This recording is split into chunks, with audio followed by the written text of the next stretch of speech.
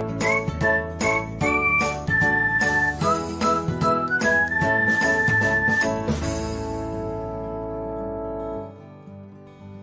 everyone, welcome to another episode of Technology Glance.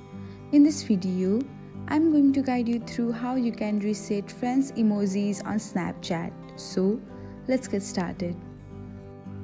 Watch till the end and don't forget to subscribe to Technology Glance by hitting the subscribe button and press the bell icon so that you'll never miss another update.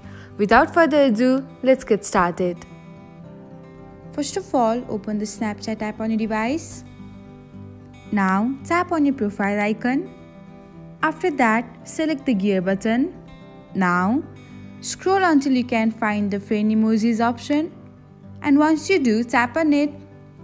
Then, keep on scrolling until you find the reset to default button.